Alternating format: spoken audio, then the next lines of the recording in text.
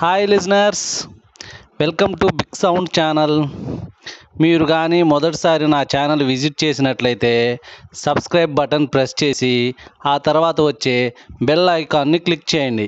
దీని ద్వారా నేను డైలీ పెట్టే వీడియోస్ అన్నీ కూడా మీరు పొందవచ్చు. డియర్ లిజనర్స్ ఈరోజు కథ స్వర్గ ప్రాప్తి. ధనగుప్త దంపతులకు విశ్వకేతుడు ఏకైక పుత్రుడు. విశ్వకేతుడు బాల్యం నుంచి గొప్ప దైవ భక్తిపరుడు తల్లిదండ్రులు అతన్ని ఏ విషయంలోనూ నిర్బంధించక దేవుడి పూజ కోసం వదిలేశారు. అతన్ని డబ్బు సంపాదించమని కానీ కుటుంబ బాధ్యతలు నిర్వర్తించమని కానీ వాళ్ళేనాడూ పోరు పెట్టలేదు. ఇంటి బాధ్యతలేవి పట్టించుకోకుండా దైవభక్తి దైవభక్తిలో ఉండటమే అన్నిటికన్నా సుఖం అనిపించింది విశ్వకేతుడికి. అందువల్ల అతను దేవుడి పూజ పేరుతో బాధ్యతారహితంగా ప్రవర్తించడం నేర్చుకున్నాడు. కాలక్రమేణా అతని తల్లిదండ్రులు పెద్దవాళ్ళయ్యారు. ధనగుప్తుడికి ఓపిక క్షీణించి వ్యాపారం మానివేశాడు. అప్పుడు కూడా విశ్వకేతుడు ఇంటి బాధ్యతలు చూసుకోకుండా గుళ్ళు గోపురాలు పట్టి తిరగసాగాడు. ఇంటి పని భారం అంతా ముసలివాడే అయిన ఆ ఇంటి పనివాడు రంగయ్యే చూసుకునేవాడు. ధనగుప్తుడికి పక్షవాతం వచ్చి మంచంలో పడ్డాడు. వైద్యుడు అతడి కాలు చెయ్యి పావురాయి రక్తంతో మర్దన చెయ్యమని రంగయ్యకు చెప్పాడు. రోజు పావురాయి రక్తం సేకరించి దాంతో ధనగుప్తికి రంగయ్య మర్దన చేస్తుండేవాడు. ఇది ఇలా ఉండగా ఆ ఊళ్ళోకి భక్త బృందాలన్నీ కలిసి కాశీయాత్ర తలపెట్టారు. విశ్వకేతుడు అత్యుత్సాహంగా కాశీయాత్రలో పాల్గొనడానికి సిద్ధమయ్యాడు.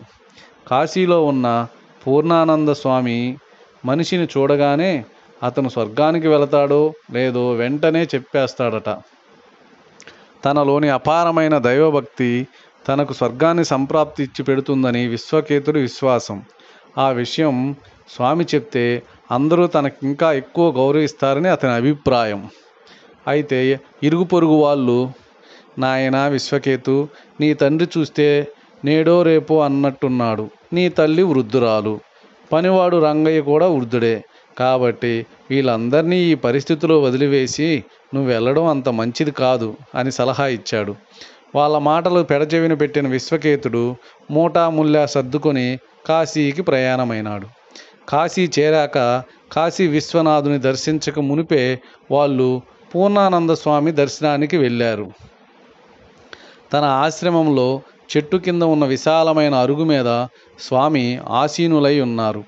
కళ్ళు తెరిచి తన ముందు చేతులు వేలాడ్చి నిలుచున్న విశ్వకేతుని తేరిపారా చూసి ఇలా అన్నాడు నాయన స్వర్గానికి వెళతానో నరకానికి వెళతానో తెలుసుకుందామన్న ఆసక్తితో నా ముందు నిల్చున్నావు అవునా? అయితే నువ్వు ఎక్ నువ్వెక్కడికి వెళతావని అనేది నీ అభిప్రాయం.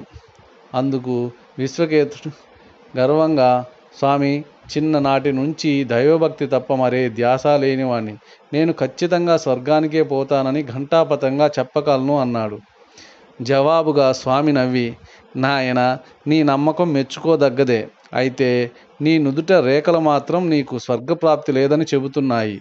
కారణం నువ్వు తల్లిదండ్రులను సేవించుకోకపోవడమే. జన్మనిచ్చిన తల్లిదండ్రులు దైవం కన్నా పవిత్రమైన వాళ్ళు అన్నాడు. తన తప్పు తెలుసుకున్న విశ్వకేతుడు పూర్ణానంద స్వామి పాదాలపై పడి విలపించాడు. అతను వెంటనే తన గ్రామానికి తిరిగి వచ్చి తను చేయగలిగినన్ని పనులన్నీ చేసి ఆ డబ్బుతో తల్లిదండ్రులకు వైద్యం చేయించాడు. దినరాత్రులు వారికి శుశ్రూషలు చేశాడు. ఆ శుశ్రూషతో తండ్రి బాగా కోలుకున్నాడు. మరెప్పుడు విశ్వకేతుడు స్వర్గప్రాప్తి గురించి ఆలోచించనే లేదు.